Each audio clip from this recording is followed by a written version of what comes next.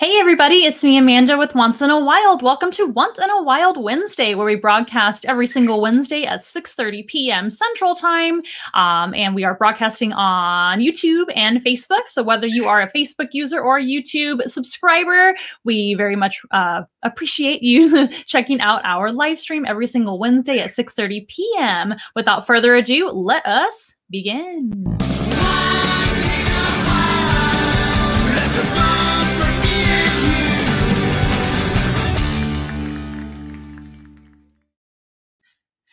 Hey, everybody. Hope your week's going well. It's me, Amanda, with Once in a Wild. If you are here for the very first time, welcome. And if you are a returning follower, friend, or family member, welcome back. And we're happy to see you. Um, it is Once in a Wild Wednesday, so we are ready to get started. And we have some cool um, animals to meet, of course, as usual. We have three animals to meet today, and we are going to talk about our topic at hand, which, if you saw um, maybe my post about it earlier on Facebook, or if you maybe read in the description, you'll we're talking about. Hello, Ash. It's so good to see you guys.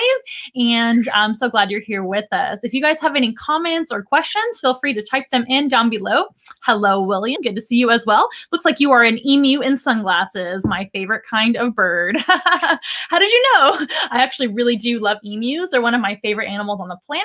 They are an Australian bird and the second largest Australian bird on the continent. The first largest Australian bird is another one of my favorites. It's the cassowary, the world's most dangerous bird. But the emu is kind of like the close cousin to the cassowary that happens to be a lot nicer.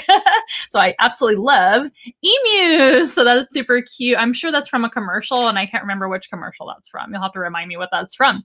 But if anybody else has any comments they want to uh, fill in in the comments down below, or if you have any questions about the animals or the topic at hand today, of course, please let me know. That is always really fun, and we love interacting with you guys. I'm going to check my camera really fast before we get too far in.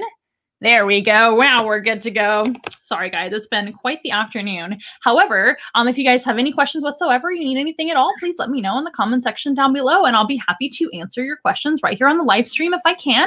And if not, then I will go back in the old-fashioned way and actually answer your question by typing in the answer if I just don't see your question in time or if I run out of time, etc. I was from the Liberty Mutual commercial yes, I remember now. The, all those commercials kind of run together for me, but it's super cute. Hello, Jeffrey. I hope you're doing well. You are not an emu. You are um, from American Psycho right now in your in your profile photo as usual, which is pretty cool. We love cosplay as well here once in a while. Um, but if you have never been here before, my name is Amanda, and I'm the founder and animal specialist here at Once in a Wild, which is our mobile zoo. We are located in San Antonio, Texas, so we can bring the zoo to you in the San Antonio, Texas area and surrounding cities, whether that be for a party, a classroom, or an animal experience of any kind, please let me know if you're interested in an in person animal encounter. Yep, we are back in action once again, and we can come to you in person with some animals. We do have to wear our mask and make sure and wash our hands, uh, you know, just to be careful and keep our social distancing in mind. But um, we are willing to come to you guys in person if you are interested in that. But we also do provide virtual animal encounters. As you can see right now, we're on a live stream, right? But we can also customize and bring you a virtual animal encounter of your choosing of the animals and the duration of time. We typically start with a one hour presentation. And usually in one hour, you guys can view six to eight animals of your choosing. And those are perfect for classroom presentations, but they're also great just for fun as well. We have a whole bunch of um, like birthday parties and just just for the fun of it office zooms as well that we've done. We do visit offices in person but we can also visit you guys um, virtually, of course. We typically jump in a Zoom or whatever platform you prefer, and we bring you guys a whole bunch of really awesome animals. And today you're kind of getting a little preview of that, right? That's what our live streams pretty much are. And we do bring this live stream to you for free of charge, but we do have uh, tipping and donation options as usual. Um, one of those is Venmo, one of those is Cash App, and the last one is PayPal. And we also do have an Amazon wish list, which can be found at once in a wild Com. Um, you can go to the website and scroll all the way down to the bottom, and you'll see that button, which leads you to our Amazon wish list. And that's another great way to help us out and donate to our animals. All of our proceeds that we um, do receive from animal encounters, as well as donations, go to animal care as you guys know. But if you're new, maybe you didn't know that, and I wanted to tell you. so today we're talking about something kind of fun, and that is how we enrich our animals. We're talking about animal enrichment. Now, what is animal enrichment? Well, that can be as simple as uh, a bone for your dog, a toy for your dog, uh, a little toy for your cat. Animal toys are probably the easiest and most obvious example of animal enrichment, but animal enrichment can be almost anything. It can be anything that encourages good behavior and discourages um, negative behavior in your animal. So if you have a dog who is chewing on your shoe and you don't really care for that, you can give them a more appropriate toy to chew on instead or teach them not to chew on your shoes, right? But that will give them something else as an option to get that behavior out because chewing for a dog is a natural behavior and chewing for a lot of animals is actually a natural behavior. Birds chew, rodents chew, all sorts of animals chew on stuff. So they have to be able to chew on something. So if you don't provide them with something that's appropriate for them to chew on, they're going to find something. I, I promise you that. And it might be your shoe or your clothes or something or the trash or something like that. So um, that's a really good and simple uh, example of animal enrichment. I bet you guys can think of other examples of animal enrichment, but enrichment basically just enriches the animal's life, right? And we as humans, we also need enrichment because we can get bored, right? We're we're pretty smart animals, if I do say so myself. At least most of us are smart animals, right? um, but we need something to do, or else we can get kind of bored, kind of complacent. Um, a lot of us have games that keep us busy on our phones, or we have other humans to interact with. We have TV shows we like to watch. What is your favorite human enrichment? Maybe you guys can tell me what your favorite enrichment is for your pets and for yourself. Uh, some of my favorite enrichment is just getting outside and enjoying nature, walking around. We don't get outside too much anymore, right? But it's important to still get out and walk around your neighborhood, maybe go to the park or go to the zoo, um, just to kind of get out and get some fresh air as much as we can with a mask on, right? so, but there's a lot of things that can enrich our lives. And we also have to keep that in mind with our animals. And when we have over 70 animals, like we do here at Once in a Wild, we do have to keep that in mind here as well. And all zoos across everywhere um, should and usually do you have enrichment plans for their animals or at least provide enrichment for their animals. And enrichment can be things other than objects or toys. It can also be activities or training but we are specifically going to talk about objects that can be enrichment for our animals. So what i'm going to do it's going to be a lot of fun and this is a little bit different than our usual kind of program where i just show you the animal and talk about them so what i'm going to do today is show you the enrichment items first and then i'll bring out the animal as i usually do and talk about the animal one by one. Does that sound fun? Hello, Clay. It's nice to see you. Everybody, stop what you're doing and make sure that you go and follow The Wild Side with Clay on YouTube. Subscribe to their YouTube channel because we are guests on that YouTube channel. That's right, Once in a Wild and yours truly and Clay are doing a, a video over there. And we already did a chameleon video, but there's another video coming up very, very shortly. So make sure you subscribe to the Wild Side with Clay. And also check him out over on Instagram. And you can also check us out on Instagram if you haven't already. We are at Once in a Wild Zoo. Um, and yeah, check out this uh, endeavor as well all over the social medias and especially YouTube where you can see those full length videos. They're really fun. Clay's a wonderful person and we are collaborating quite a bit. So keep uh, stay tuned for uh, seeing some of the animals you know and love on some of Clay's videos where he can talk about them and teach you guys about them. Okay, Ricardo's favorite enrichment is exercise. Yes, for sure. Uh, Ricardo does like to work out and exercise. I can attest to that. And art, um, so drawing and uh, any kind of art. Um, one of my favorite activities is also photography. Photography is a, a very enriching activity for me. Um, not only does it kind of help me to get out into nature if I'm taking nature photos or zoo photos or something like that. It also um, gives me a project to do as if I need anything else to do these days. But still, it gives me a, a fun project that I can relax and sit down and edit the photos. That is relaxing for me. And I really enjoy having that final product to kind of show everybody. Photography was actually my first endeavor as a career path, believe it or not. When I was younger, um, I first went to school for photography and I changed my mind and changed my major to zoology way later. um, and I'm glad I did. But photography is very um very important to me as well, and it's kind of my my fun time now. And then Ricardo also says um, skateboarding, which is another form of exercise, right? Skateboarding can be very enriching and fun. Um, one of my favorite activities, I don't do this very often anymore, is horseback riding or just being around animals in general, right? Horses are one of my first loves as a uh, animal that I was um, either a professional with or just having fun being around. Horses were kind of one of the first animals that I um, was around, uh, uh, uh, you know, more than like one, more than what am I trying to say, guys? More than like every now and then. I was a huge horse person back in the old days. back in the old days when I was young. Uh, Ash says, We like to take walks and bike ride, and we love to watch your show. That is so nice. I'm so glad that I can be enriching to some of y'all's lives. Um, we certainly try to do that. Um, every single show, we try to have a lot of fun, right? And teach you guys some fun information. Um, how many of you guys have learned something new each and every time? I know I'm always learning, so that's one of my favorite parts about this job. And of course, working with all the wonderful animals. So let me show you guys some enrichment more than once in a wild crickets. No, that was pretty funny.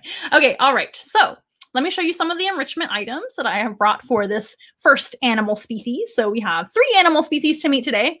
Three, three. We have three animal species, and our first animal is going to benefit from all different types of enrichment. But oh, you guys are wonderful. We learn something new every show. That is so great wonderful. I love it. So here's one um, enrichment item for this first animal. This is a, well, it's a ball, right? But it's made out of Timothy hay and all sorts of natural materials like that. So this enrichment item can be chewed on, chewed on, chewed on. That's not a word. Chewed on. It can be eaten. So this is technically an edible item for this first animal species. And uh, by the way, some of the enrichment items I'm showing today can apply to other animals, not just the species that I brought, but let's see if you guys can maybe guess what animal we're going to talk about. So this one's a Timothy grass and hay ball. It's made out of like a rope out of all those items. So that's really cool. It can roll around and the animals can see something, uh, you know, rolling around and just kind of look at it. It can be fun to chase around, but they can also chew on it and actually consume and eat it, right? Consume and eat is the same thing, Amanda. this is another item here. This is actually a part of an antler, and this is technically a dog chew toy. Um, however, my dogs didn't really care for this particular chew, so I ended up regifting it to another animal. Well, you know, animals share it here around uh, here, around here once in a while. We have several enrichment items that can go to several animals, right? But for this um, animal type, it's another chewing item. So this is part of an antler and uh, this particular animal can chew on it. So it is a chewing type animal, right? So the other one can be chewed chewed on and rolled around and uh, messed with in general, and also eaten. This one isn't really eaten, but they could chew on it to help them do something specific. And uh, it can also be like a new fun texture. It's kind of rough and very solid. This can go to several animals that are more destructive, like the ferrets. Ferrets are very challenging to enrich sometimes, and larger birds and things like that because they're very destructive and they can destroy things. But antler is really tough. If a dog, you know, chews on it, you know it's tough. Here's another few items. These are all the same thing, but they are willow sticks. This is another item that can be chewed on, obviously, and they can also be, you know, pick up sticks. You could drop them I'm not going to do it now, but you could drop them and they could roll around and make a big mess. Some, sometimes animals like to pick up things and, and throw them around. This is a, a safe item that they could do that with. And remember, when we're enriching our animals or ourselves, we have to make sure that things are safe, that the animal safety is in mind, right? And that it's appropriate for the animal. So these are willow sticks. They can be chewed on. They can be eaten by certain kinds of animals. That should be a clue right there and they can generally just like kind of mess with them and toss them around like i said. This is kind of a homemade item and i know a lot of you guys are in the same boat as us where you get a lot of cardboard boxes these days. Um, we get a ton of amazon orders and chewy orders and all kinds of stuff but this is just from a piece of cardboard. It looks like it was from some mineral water Italian mineral water from a grocery store pickup, I'm sure, or Costco pickup. Costco's doing well these days. So we get a lot of cardboard boxes. Cardboard boxes themselves can be great hides for animals. They can be great for animals to get up, get up in and cozy up in, like a cat. Cats really like boxes, right? If I fits, I sits. That's very famous for cats. Um, but all kinds of animals, not just your house cats, uh, will cozy up in a box. Our ferrets really like boxes. Almost every animal likes boxes. I can't really think of any animal off the top of my head that doesn't like boxes in some capacity. They may be indifferent to them, but boxes are awesome enrichment. And you might be thinking, well, that's kind of lame. But animals really like cardboard. And this particular animal can also chew on the cardboard. They can pick them up. This is another safe item to just kind of toss around. and uh, it's not dangerous to them or other roommates that they might be living with, which gives you a hint and uh, they can generally chew it up and it's inexpensive right dare i say cheap enrichment homemade enrichment so what i've done is just cut these up into little sections and I just folded them back and forth, as you can see. And that's a great enrichment item for a lot of animals, but for one in particular. And there's one last one that I brought for this particular animal, and that is a good old fashioned paper bag. That's right, folks, a paper bag. So all these items are very inexpensive, if not homemade. So there's really no excuse to not enrich your, your animals at home, right? We want to make sure that all those animals at home as well are staying enriched too in your lives. That's very important to me to teach you guys that. Um, we don't just talk about wildlife and their adaptations, we talk about pet care and animal care in general. That's what we're talking about today. This is a good old fashioned, great big paper bag, and I folded it over like this, right? I just folded it over so they could get up in there and hide. Like I talked about the box hide. Boxes can be cut up into different shapes so animals can hide inside of them. Now we want to make sure that it's appropriately sized for the animal that you're enriching. Um, we want to make sure they can't get their head stuck in there. Ah! Right? Probably have hay all over me now. You're welcome. So we want to make sure they can't get their head stuck in there. We want to make sure um, that they can't get their body part stuck in there. One nice thing about paper, though, is it can usually be broken up. So if they do get something stuck in there, they can usually tear it open and they're okay. But that's something to keep in mind for like boxes or more rigid items is we got to make sure animals aren't getting stuck in them or they're appropriately sized in general. But that's just using your common sense, right? But keep that in mind. This is a good old fashioned paper bag. We have a paper bag let's put the stuff in while we talk about it. We had the the Timothy Hay rope ball.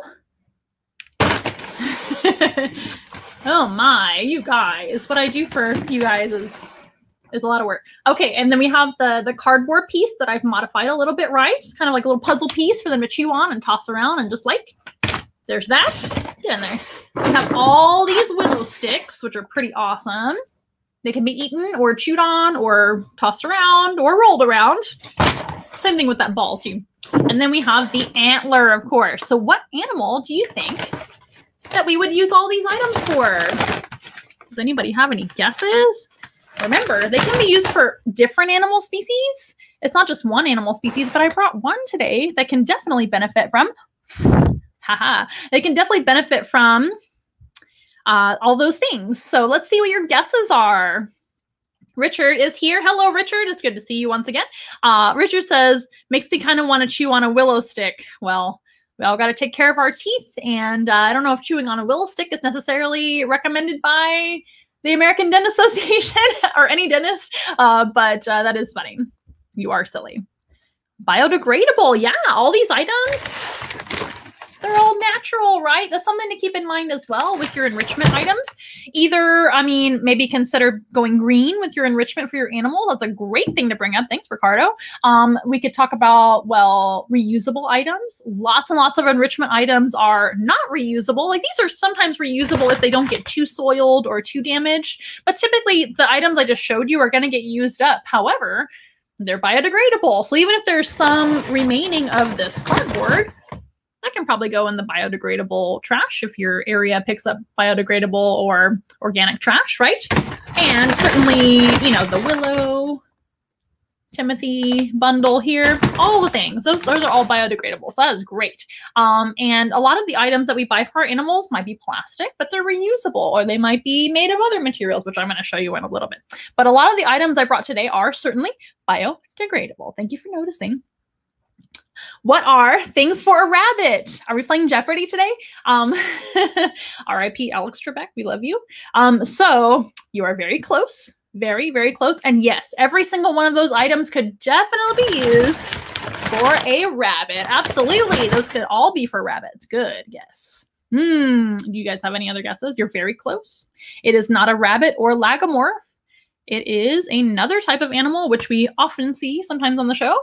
What do y'all think? I'll give you a couple of seconds while we maybe learn more about enrichment. But it's really important to enrich your animals' lives because, of course, um, they can get a little bored, just like we can, like we talked about before.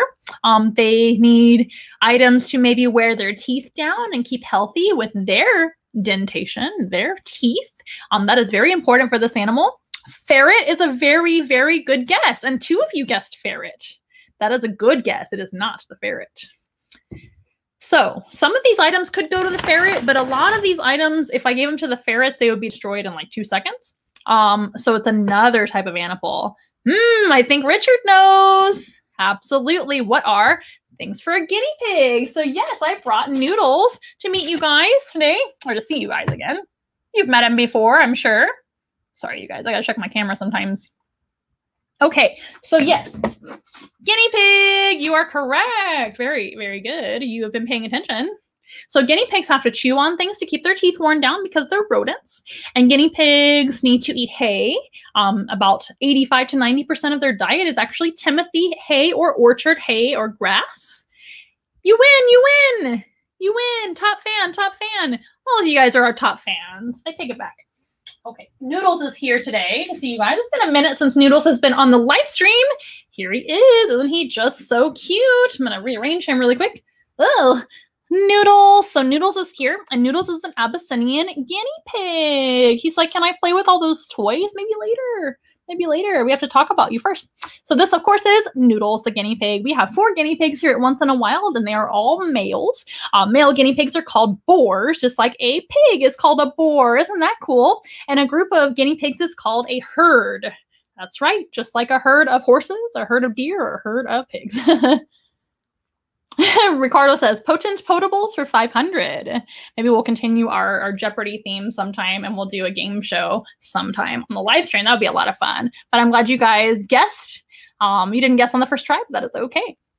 So this is Noodles. Now the guinea pig is not from Guinea, nor is it a pig.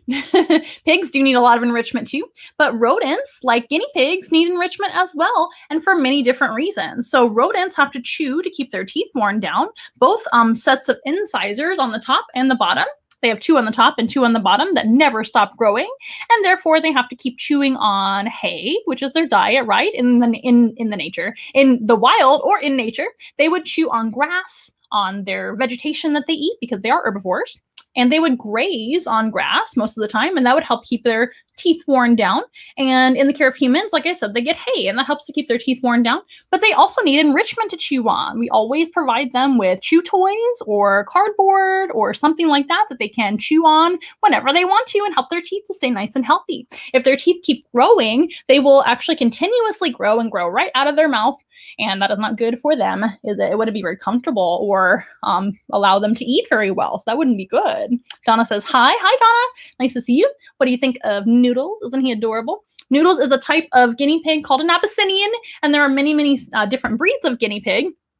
And they all originate from a species which comes from South America. So they're not from Guinea, like the name says, nor are they a pig. Now, where that name comes from is they used to cost one guinea back when they were brought over to Europe from South America as pets. Um, the Incas actually originally domesticated guinea pigs over 5,000 years ago, and they were originally domesticated for food purposes. Don't tell Noodles. Um, but of course, he's not going to be used for food purposes. He's one of our animal ambassadors and animal friends here once in a while. He's getting a little wiggly with me. I'm going to rearrange him in my hands. He's a busybody sometimes. Now, um, and also where the name pig comes from is because they squeal like pigs. That is the going theory on that. But they have been domesticated for over 5,000 years, and I wasn't around 5,000 years ago.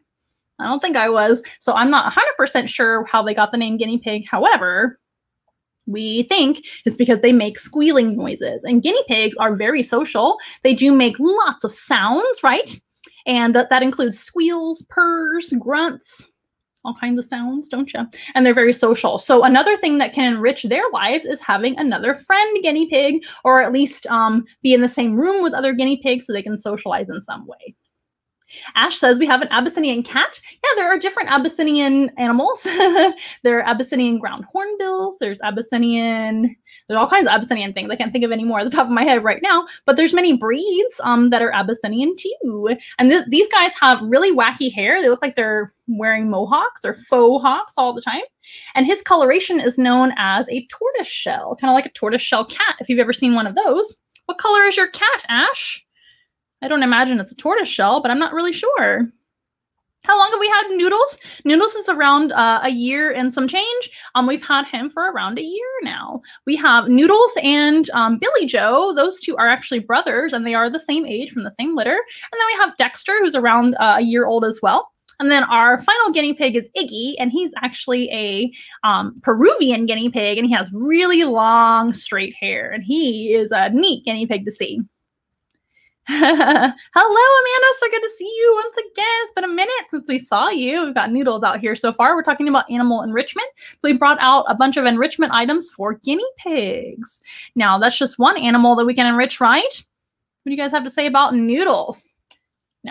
What was I talking about? Oh, they're very social. So they live in groups together. So it's really important for them to have each other.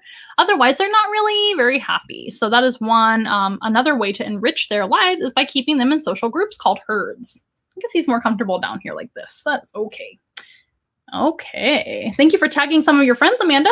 Uh, another free way to help us out is by subscribing to our YouTube channel, liking the videos, commenting on the videos, of course, as well as uh, following us on all of our social media. All of our social media links can be found at onceinawild.com and uh, tagging your friends that you might think are interested in animal programs or in any of these live streams or animal videos.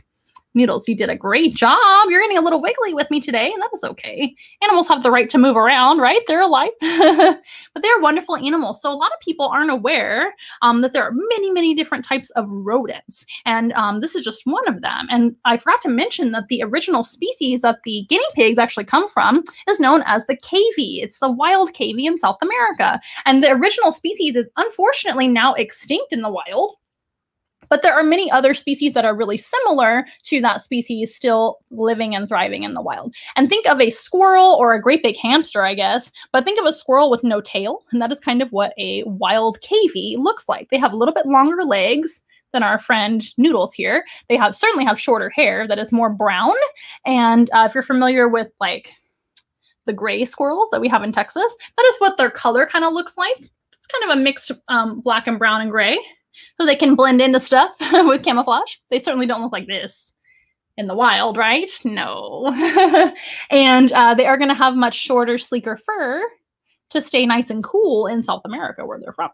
And uh, there are many different species of cavy, which is a type of rodent. But rodents are, of course, other animals like squirrels, hamsters, guinea pigs, of course, rats, mice. Porcupines are rodents too.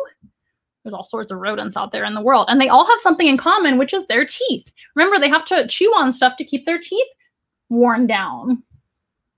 He wants to chew on me. He's just giving me some little love nibbles. Um, but these guys have to um, chew on items such as wood, antlers. Believe it or not, rodents in the wild do seek out bones and antlers to chew on sometimes. A famous animal that chews on bones is actually the porcupine. Porcupines in Africa for for example, I do know this. Um, those guys will actually look for bones to chew on. And that will help to wear their teeth down. That's very enriching to them. Now, that is not a carnivorous animal. It is an herbivore. So they don't eat other animals, but they might chew on hard bones. They might chew on antlers to be able to wear their teeth down and keep them worn down. Another thing that porcupines do as a survival technique is actually leaving bones littered all around their den. So a porcupine will actually have bones. Wait, Porcupine will have a den underground or partially underground, like a little cave, right? In the side of the maybe in the side of a hill or underground something like that. They'll have a den that they can go in and shelter in it in the daytime usually because a porcupine is typically crepuscular or nocturnal. Um, so they're it's it's safer to be out in the cover of darkness for a african porcupine anyway. But typically porcupines of that nature on the ground they have somewhere to go underground. So uh, around their den which is that little underground hole they have um, they will litter bones around that area to help to kind of ward off enemies. Because if a predator or any animal comes around, they might think, oh my gosh, there's a scary monster that lives here that eats animals and the bones are everywhere. Sorry, buddy. And the bones are everywhere. I think I surprised him really quick. Sorry about that, Noodle. The bones are kind of littered around the, the area of the den, and that will actually um kind of ward away enemies, if that makes sense. That wouldn't make any, any sense today. Do they bite you? Um, guinea pigs, they can bite, but their bites are typically very, very gentle. I didn't mean to scare him. Sorry about that, Noodles. I'm sorry. They don't really bite hard. Um, guinea pigs are less inclined to bite than many other rodent pet type animals. And these, by the way, are fully domesticated. They've been domesticated for over 5,000 years. So they are accustomed to human companionship. So they make actually very good pets. As long as you meet all their needs, you have to give them lots of enrichment. They're very messy animals. So they need to be cleaned up all the time. And they need to have uh, friends of the same species around. Um, but when they do bite, I mean, it could hurt sometimes, but they're not inclined to bite like other rodents are, like hamsters, for example. Those guys do bite a lot. So I've never been bitten seriously by a guinea pig ever. Yes, a good question. Is it better to have one or two guinea pigs since they are so social? Yes, it's always better for them to have a friend. Um, there are certain guinea pigs that don't like other guinea pigs, just like there are dogs that don't like other dogs. But it's always important to give them that chance first and um, to try it out. And they have to at least have, uh, in my opinion, like another guinea pig around. That way they can at least hear each other because they're very social and they're also prey. So they feel a little bit um, vulnerable if they are not in a group or a herd together, right? Are you looking for snacks? Is that what your problem is today? Do they have a tail? Whoop. Do they like to be picked up? It depends on the guinea pig. I found that Iggy is probably our friendliest guinea pig of all of them. He's also the oldest, and the older they get, the more tolerant they get because they start learning that humans are okay. Um, the younger the guinea pig, in my experience, the more skittish they are. But Noodles is doing well right now, right? And uh, do they have a tailbone? That's a good question. I believe they do, but they do not have a tail. They're a, one of the few animals that does not have a true tail. They have no tail whatsoever. It's just a bum. so no tail at all. How long is a guinea pig's life expectancy? So their lifespan, meaning that like the record of guinea pig, I think is like 12, but uh, that is not typical of a guinea pig. Typically it's around seven or eight that is a nice long life for a guinea pig. They don't live uh, too long of a life, but they also don't have too short of a life either. They're kind of medium for a rodent. So I would say anywhere from five to eight. Okay, Noodles, I understand. Are you ready to be put down? So it really depends on the personality of your guinea pig as far as their tolerance of humans and things like that. Now he's looking for snacks in there. Um, he, as far as their tolerance of humans, um, they can be trained, but guinea pigs in general are kind of skittish animals, but they can learn to really um, tolerate human handling a lot because they are domesticated. And since they are a social animal by nature, they tend to do pretty well in human care. The most challenging thing with guinea pigs, in my opinion, is that initial first time that you pick them up. And I don't mean the first time ever, I mean every time you pick them up, they do kind of tend to run off, but that's just how a guinea pig is. And once they realize that everything's okay, then they're they're fine being held or held in the lap. Guinea pigs like to be held in like kind of in your lap. Um, not like the way I was holding him, but the best way to bond with your guinea pig if you have one or you want one is to put him like on a blanket in your lap. That way they have a nice flat surface and they seem to do better that way because they're not an animal that would ever go up high. so heights is kind of their their downfall. I didn't even mean to joke around about that. Um, heights is not their forte, I should say. Um, so they don't climb. So having a flat surface to just kind of sit on is a little bit more ideal. If that makes sense. That is a good question. You guys are doing fabulous. I'm going to show you some more enrichment items. So we learned all about guinea pig enrichment. Let's learn about another animal, shall we? Let's throw that over there. this is real life, you guys. You guys are being so wonderful and patient as usual. And I hope you're enjoying the show so far, so good, right? I'm going to give myself a little enrichment right here water isn't really enrichment. That's kind of a necessity, right? But food can also be an enrichment. So let's learn about some food enrichment. I think that would be a cool idea. So not necessarily food in of itself, but maybe like new foods that your animal doesn't get every day, like treat items, right? That can be very enriching to a lot of animals across the spectrum. Most animals like to eat food, right? and um, myself included, that might be one of my favorite enrichments is food. um, but many animals also enjoy food, right? So let me show you some of that. Okay, some of these items are going to be food and some are not. So let me show you the ones that are not first. This is going to throw you off. So we have one, two, three bowls. These are just regular plastic bowls. Now we did talk about biodegradable items. This is not one of them, but this is certainly a item that you could reuse. We have a green bowl, a red bowl, and a yellow bowl, right? These are just fun plastic bowls, very inexpensive. You could probably find these at Walmart or anywhere like that. Thrift store, wherever. And they're just regular old plastic bowls.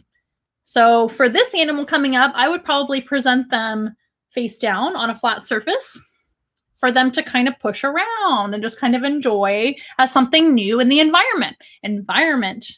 Environmental enrichment is what I meant to say. So the, these animals can push around things.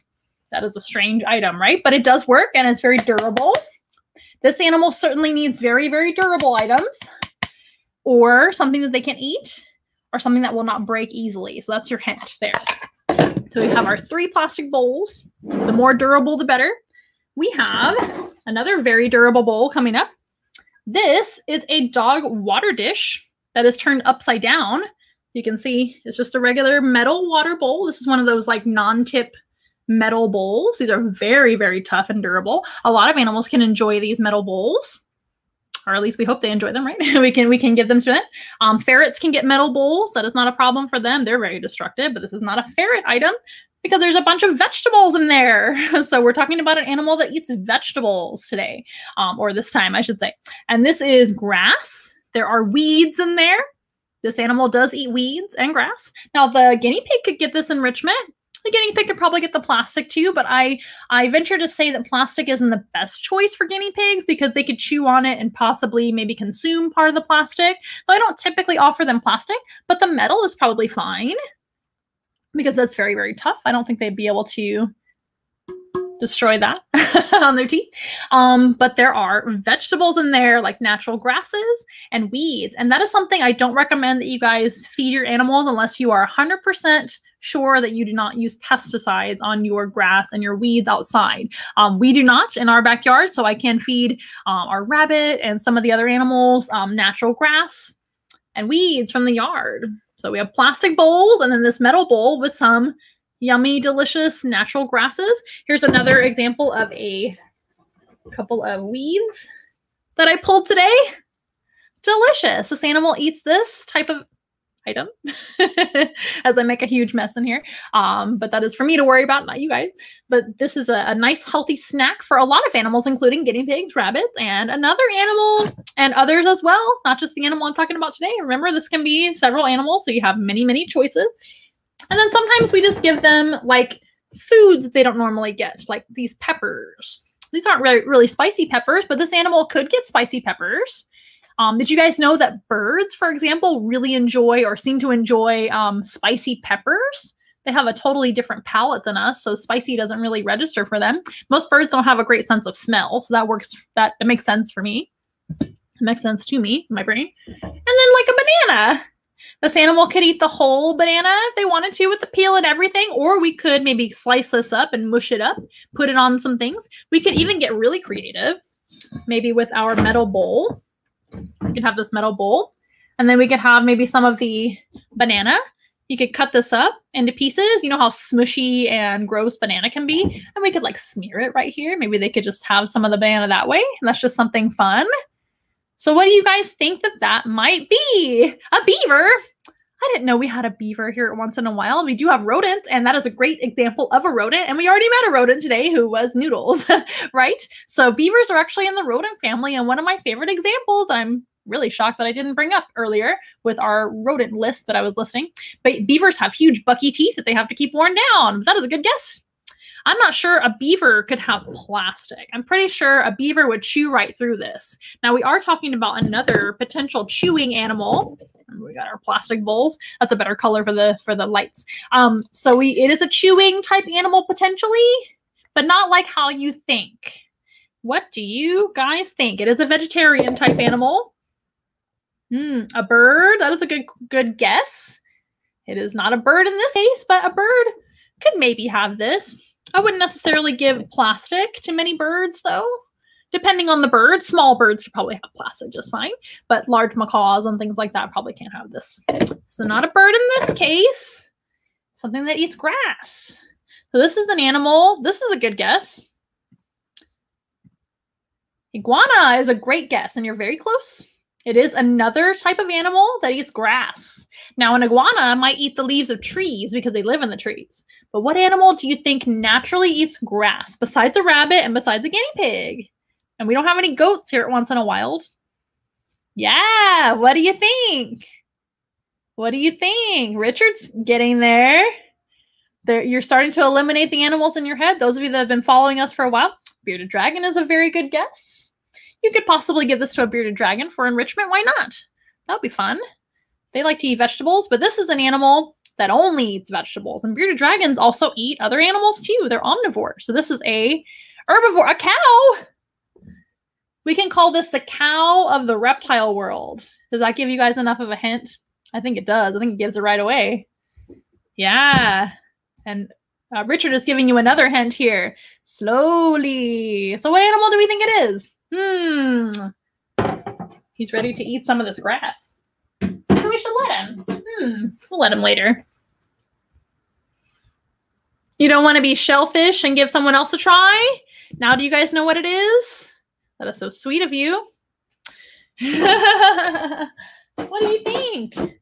What do you think? What do you think? A, a bona fide turtle. Not a turtle. It is a reptile. It looks like a turtle. Hooray! we did it! you guys got there slowly, just like tortoises, right? Tortoises are slow, turtles are fast. Let's meet him. Yes, so it is today. It's Shelton! Shelton's here today. So all those items, yes, were intended for our friend Shelton John, the red-footed tortoise. Um, so yes, the grasses, the weeds, the metal bowl is, is fine for tortoises. They can get those for water bowls or just pushing them around or to be fed in or something new and something different, maybe shiny to be looking at. Uh, tortoises do see their own reflections and respond to them. So they might be able to see their reflections in the mirror in the mirror of the metal bowl. That would be kind of cool. Um, they also very much respond to color. So those plastic bowls are different colors and that might um, give them different responses. Um, they can push them around with no danger to them. Now, with tortoises, remember we have to be very careful because they have very strong bites. Now, Shelton is not going to bite me and he's a very nice tortoise, but they have strong beaks, just like a big bird would have. So we have to make sure none of those items that he can consume unless we want him to consume them, right? Like the vegetation or the peppers, those are okay for him to eat. But if we give him a bunch of paper, uh, it's not necessarily a bad thing, but I don't really recommend it because tortoises could look at something and say, hmm, that looks like food. So instead of paper, shredded paper, or cardboard, we could give him like hay and uh, vegetation or hard plastic. Now, some tortoises that are bigger than Shelton may not be able to have those plastic bowls because they are too strong. But Shelton's bite isn't really that strong. Red-footed tortoises like him don't really have the strongest bite of all the tortoises. If it were for uh, per se a um, maybe like a Galapagos tortoise or even a sulcata tortoise, some of those bigger ones, I wouldn't necessarily give them any plastic at all because they could certainly break it and possibly eat it. And that would be a terrible idea. So I don't want to encourage you guys to give all your tortoises at home if you have them or if you have tortoises in your care. Maybe you work at a zoo or an aquarium that has tortoises, etc or you have friends that have them. I don't really encourage you guys to give them plastic per se without supervision. So we want to make sure that our, our animals are not consuming items they shouldn't be, right? But all the other items like metal, um, most of the time. And uh, the edible items are great for tortoises, and they really appreciate new snacks. Snacks are his favorite thing to be enriched with, right, Shelton? So, Shelton, if you haven't met him before, and I'm pretty sure you guys have that are commenting, you said tortoise three times? Oh, yeah, there it is. Maybe I got your comments late. Good job, William. I didn't see it until late, but there it is. You did great. All of you guys are winners. Winner, winner chicken dinner. Um, but yes, this is a red-footed tortoise. Absolutely, very, very good. Um, Shelton John is a young red-footed tortoise, and uh, he is a species also found in South America, just like the guinea pig. Isn't that neat? I didn't even do that on purpose today. I wanted to bring a variety of animals that you may not think of when thinking of enrichment or making their lives more interesting and more exciting. One thing that Shelton really likes to do as well, I think he likes to, of course, he can't tell me, tell me what you like, Shelton. I wish they could tell us. That way we knew what they like the most. Um, but what he seems to respond really well to as well is going outside. And tortoises really benefit from having some natural sun. As long as it's around 60 degrees and up, he can go outside and get some sun and maybe enjoy a little bit of rain if it's raining or get some fresh grass to eat right off of the ground. And they really enjoy that too. So uh, Shelton actually lives outside most of the year, but it's a little bit too cold still overnight um, right now this time of year. So he has been living inside with his best friend Frank, and uh, Joanna the iguana is also indoors too right now. But they will shortly, hopefully soon, be going outside again as long as it's warm overnight has to be over 60 degrees for these guys. But that is also very important for reptiles in general, is getting the proper sun or lighting, of course, proper diet too. So all those items that I showed you are a perfectly acceptable part of a red-footed tortoise's diet. Now, we don't typically overdo it with banana and other fruits like that um, because they can have a lot of sugar in them. So we don't want to overdo it with the sugar. However, just a fun fact for you guys that tortoises use the restroom sometimes. So sometimes I gotta be aware of that. However, he does really like fruits, and fruits are okay in small doses for a species like a red footed tortoise. Most tortoises can have fruits sometimes, but red footed tortoises, especially, do eat fruit in their natural environment. So it's not as big of a deal to feed them more fruit than other tortoises, right? Um, because they're not like a desert species or anything like that. But tortoise, uh, sorry, but um, fruits in general do have quite a bit of sugar, so you have to just watch that, or else they can get a little bit chunky or just not get the proper nutrients that they're supposed to get. A little turtle wax for what? Oh, for the enrichment? Mm, I'm not sure if I recommend turtle wax for a tortoise.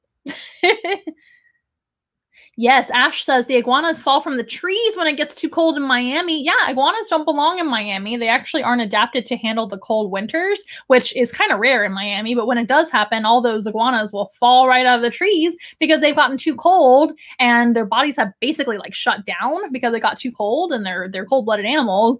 And uh, they're from Central and South America where it doesn't really get too too cold, right? But they're an invasive species to Florida. Do they require care for their shells or general hygiene? Yes, we actually soak our tortoises periodically when they need them. Um, this is a tropical species, like I think I mentioned already. They're from tropical South America. I'm just gonna hold him with a towel, you guys. This is real life. Um, they are from tropical Central and South America. That's to catch any unwanted things. if you get my drift. Um, but yes, we do soak them at least once or twice a week um, to help with humidity in their skin and shells. And I actually use a little bit of olive oil on their skin and shells as well to keep them nice and healthy because this is a species that would normally live in a high humidity area. And South Texas isn't really that high in humidity, so we have to compensate that way. Sorry to use the towel, but that's just the way it is right now. What do they do with the bowls? So they might shove them around and push them around. I can show you. And maybe I will try to get like a video so I can show you guys. But imagine the bowls. Different colors, so maybe he's going to respond to different colors in different ways, and we can notate that and study the animals. Um, enriching animals is another way that we can actually study animals too. So when I was a zookeeper, and even now, um, we would notate the animal's interaction with the enrichment to take notes. And that's actually a scientific study of the animal's behavior. Isn't that cool? So we can see if tortoises respond more to red, green, or yellow. But you would basically like kind of lay the, the bowls down like this on a flat surface, and they would kind of nose them around and move them around, just kind of like a little toy. They might try to nibble on them here and there. Maybe they flip them over, but it's not going to hurt them. So it's just something new in their environment, if that makes sense. They might be like, hmm, what is that? Might shove them around. They might just look at them you might sniff them. you could even put like maybe fruit juice on them or some kind of smell from a food. Maybe they would go up and smell it. That's pretty cool, right? There's all sorts of different creative options that you can um, do and, and um, incorporate into your animal enrichment. The sky's the limit, you guys. As long as it's safe for the animal and appropriately sized and, and appropriate for that animal and it makes sense, go for it, in my opinion. There's so many ideas of enrichment. In fact, there's like limitless ideas pretty neat. He is so cute. Well, we are going to let him rest and we'll move on to our final animal. And I'll see if you have any questions about enrichment for the end or at the end. and uh, we'll move on. Okay, you guys? I'm going to show you a couple of uh, items for our last animal. Say bye, Shelton. You did fantastic and you're beautiful and handsome as always. Okay. Good job, Shelton. And did you know that reptiles need enrichment too? Now, um, in my opinion, some animals kind of require daily enrichment. All animals require daily enrichment of some kind, whether it be, you know, just kind of rearranging things in their habitat sometimes or maybe presenting their food in new ways. But for example, like a snake or a tarantula may become stressed out if you move things around too much or if you feed them in a new way. So it really just depends on the animal. Um, but animals that especially need a lot of enrichment are like mammals, birds, some reptiles, tortoises are pretty intelligent, lizards are pretty intelligent, and really any animal can benefit from some enrichment. Our animals here Once in a Wild travel a lot, so that's um, a, a, big deal for them. They get a lot of environmental change. Um, they also get handled quite a bit, which is also a nice, enriching, we hope, um, activity for them and getting out and getting some exercise, maybe getting outside where they wouldn't have otherwise and things like that. So those are all options for enrichment. So here's our final set of items.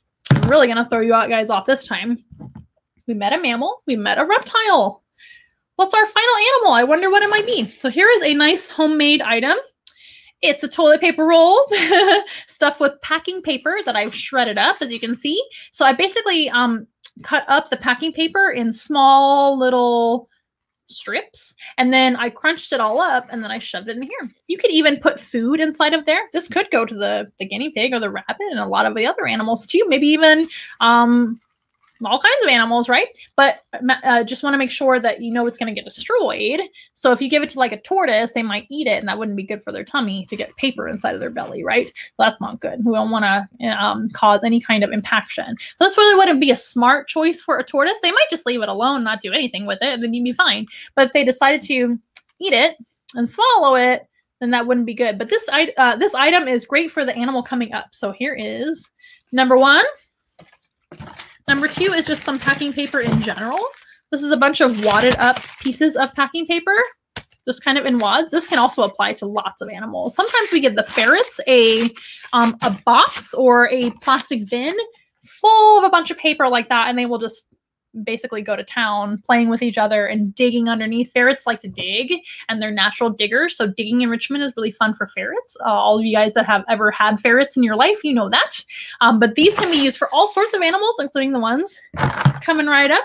Boop, boop, boop. And then we have another toilet paper roll, which is cut up on the ends. And then I've um, kind of rearranged and pushed out the ends. That way it's kind of a fun little shape for them to mess with. And the last item is an interesting one. It's actually a shell.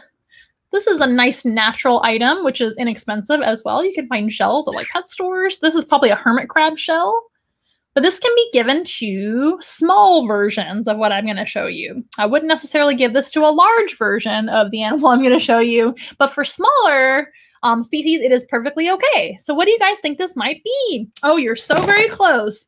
William, you're doing great. So you are very, very, very close. And I'm going to go ahead and show you this animal. That way you know. Because we're running out of time, you guys. And here she comes. I'm going to get ready for her. It is a bird. It's not a cockatiel, but it's another small bird. So the seashell is fine. The uh, toilet paper rolls of all different types, as well as the paper. And all sorts of things can be used for this particular animal because they are extremely active animals and they do require Lots of enrichment to be satisfied in life. Come here. Oh, very good. This is a cute little bird. It's not a cockatiel, but it's R2D2 the budgie. oh, Pika, that was like a, a, good guess. Yes. So it's R2D2 today. She decided to come out today.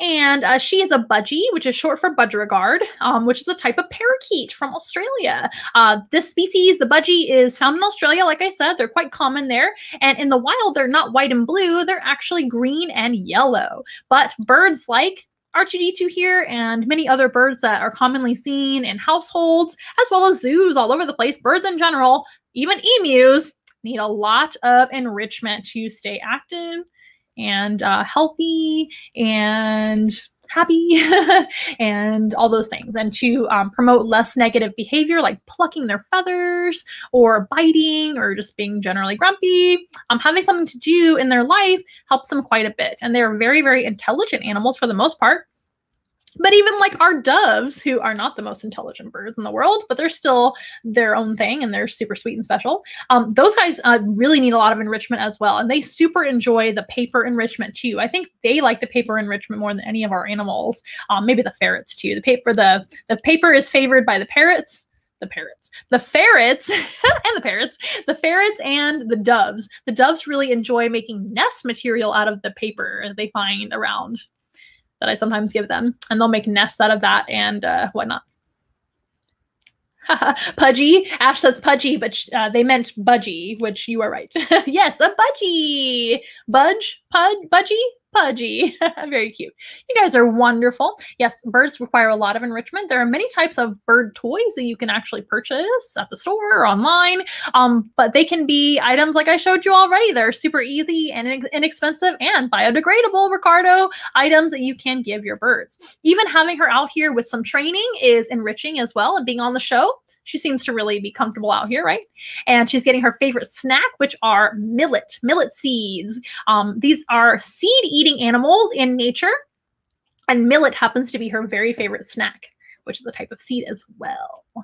Isn't she sweet and cute? R2D2 is actually one of our rescue animals. Uh, Shelton is actually a rescue as well, so we don't really know his age. We don't know R2's age either, but R2 seems like a very young bird. But what happened with her, in case you haven't heard her backstory, is we actually um, had her donated to us from a family that lives in Austin. We live in San Antonio, so a little bit, little bit away, but we met halfway. But what happened is uh, Archie actually uh, showed up in their backyard and uh, flew right up to them, kind of looking for help. um, she was thankfully not clipped. Her wings are fully flighted, and she could take off flying right now if she wanted to, but she's choosing to stay here for snacks.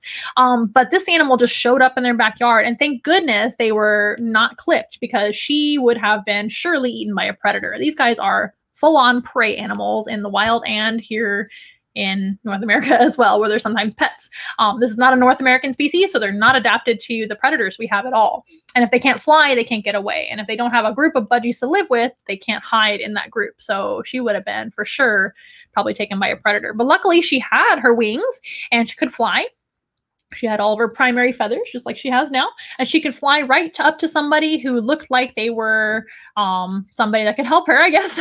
um, but she was very familiar with people, so I'm sure she was somebody's pet at some point, or at least was used to people in some way. And she's very young, so very sweet. Anyway, but uh, that is how we actually got R2D2. She showed up in somebody's life, and then they offered her up to us because they weren't able to keep her forever. But a good Samaritan type story, which is kind of cool. Um, Ash asks, um, how does their personality differ from a cockatiel? Budgies are a lot more pushy and uh, kind of like a big bird in a small body because they have to be pushy like that in order to survive. They kind of have Napoleon complex. Um, so just like small dogs are a little bit more feisty, budgies are kind of like that too, but not with people. They're actually very sweet. Um, in my experience, budgies are pretty nice birds to have and, and keep. Um, but uh, as far as comparing it to a cockatiel, cockatiels are a lot more mellow for the most part. And and uh, they're okay to just sit there and chill, doing nothing, or very easy to please in general and kind of minding their own business.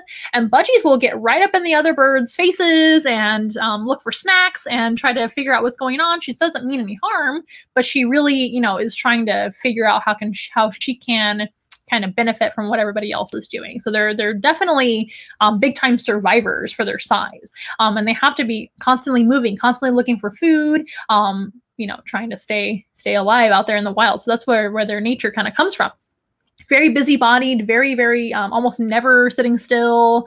Um, not super loud. Cockatiels and budgies are about the same amount of loud. Um, budgies can actually talk a lot better than cockatiels. Evie talks a little bit, our male cockatiel, but um, uh, budgies in general are much better talkers and mimickers. So they are different, but they're also similar in some ways. They're both in the parrot family. She's looking for more millet because she ate it all. Um, they're both in the parrot family. They're just small parrots, and they're both from Australia, which I find really interesting. And budgies and cockatiels can be seen living in uh, groups together. Actually, they both form flocks of the same species together, their own species, but they also will form flocks uh, with mixed species as well. And you might see cockatiels and budgies flocking together in the wild too? Good question. Does she talk? Um, she does mimic some sound, but she doesn't really talk. Um, at least not yet. But remember, she's very young. All right, you guys have some great, great questions.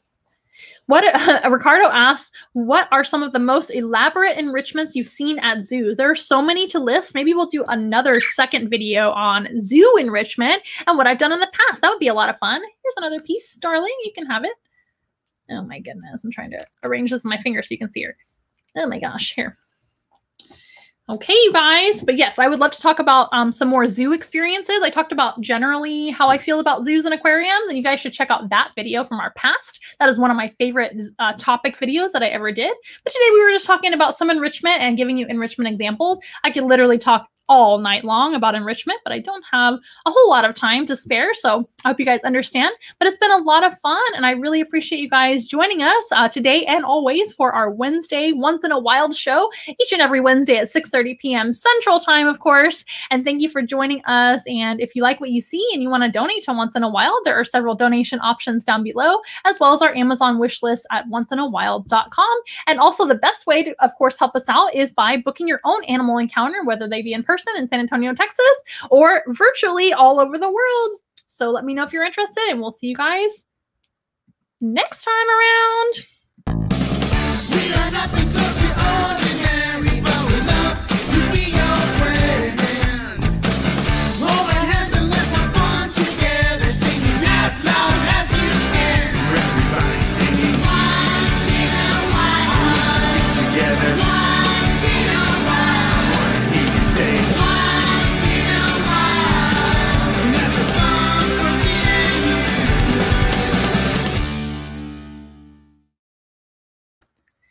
Okay, you guys, we'll see you next week here at Once in a Wild Wednesday. Bye.